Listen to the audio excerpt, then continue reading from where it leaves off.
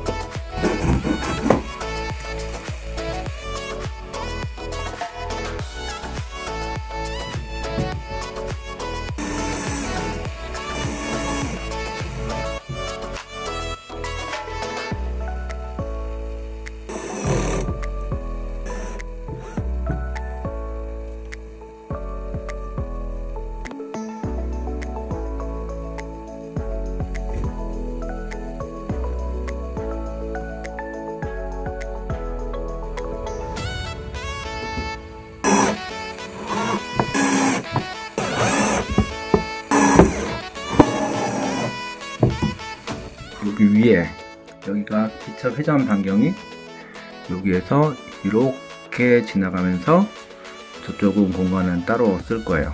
이렇게 지금 삼각형으로 이만큼을 못하기를 할 겁니다. 그래서 나무를 이렇게 잘라왔어요 삼각형으로.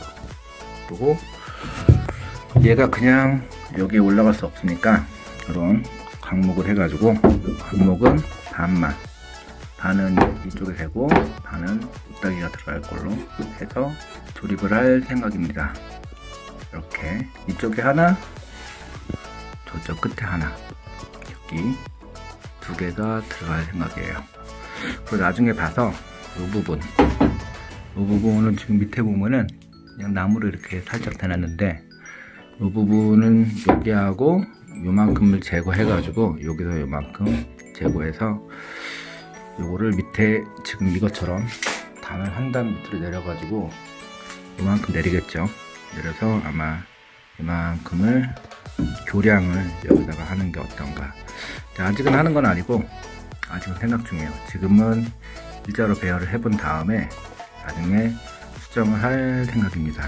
이 부분은 일단 임시로 이렇게 강목으로만 대놓은 상태예요. 작업을 또 해봐야겠죠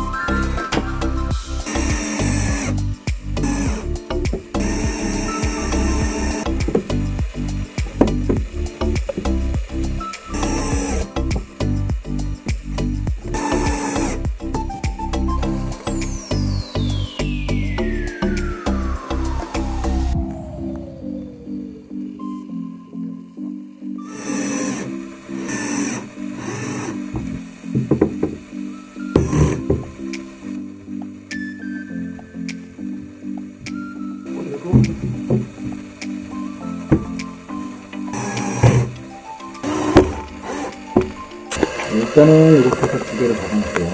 이쪽에서, 자가, 알겠죠?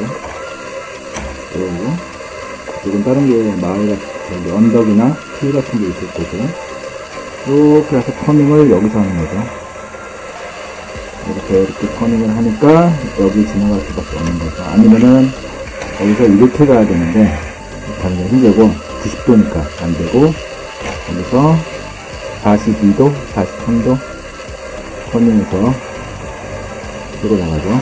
기차가 여기 들어올 때는 언덕, 언덕 이렇게 해서 풀 같은 게 있으면 좋겠고 이쪽에 라인을 두 개를 해서 두 개의 레일이 들어가는 걸로 이쪽에 이쪽에 두 개의 레일 그리고 저쪽은 마을이나 산 동쪽 산이나 마을 같은 경우도 이렇게 나가면 되고 그래서 기차가 가겠죠? 진행 아까 얘기한 대로 이쪽은 지금 이렇게 평판인데 나중에 철교를 여기서부터 여기까지 끊어가지고 철교를 만들어서 이쪽은 다리가 지나갈 수 있게 할 생각이에요.